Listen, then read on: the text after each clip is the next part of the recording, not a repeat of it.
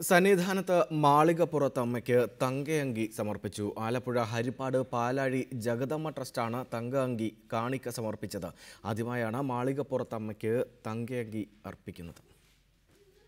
രണ്ടര കിലോ ഭാരവും രണ്ടടി ഉയരവും പതിമൂന്നിഞ്ച് വീതിയുമുള്ളതാണ് തങ്കയങ്കി.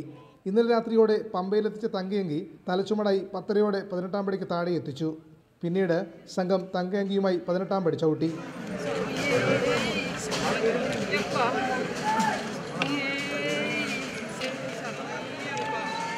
സന്നിധാനത്ത് വെച്ച് എക്സിക്യൂട്ടീവ് ഓഫീസർ തങ്കയങ്കി ഏറ്റുവാങ്ങി.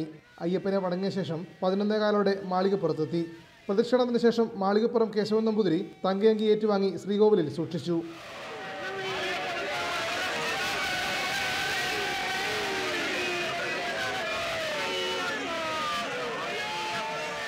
തന്ത്രി കണ്ഠര് രാജീവര് പറയുന്ന സമയത്ത് തങ്കയങ്കി മാളികപ്പുറത്തമ്മയ്ക്ക് ചാർത്തും. നേരത്തെ ജഗദമ്മ ട്രസ്റ്റ് നേതൃത്വത്തിൽ സന്നിധാനത്ത് ഉപയോഗിക്കുന്ന പൂജാപാത്രങ്ങളും കൈമടിയും തങ്കത്തിൽ തീർത്ത് സമർപ്പിച്ചിരുന്നു. അഞ്ചര കോടി രൂപയാണ് ട്രസ്റ്റ് ഇതിനായി ചിലവഴിച്ചത്. റിപ്പോർട്ടർ സന്നിധാനം.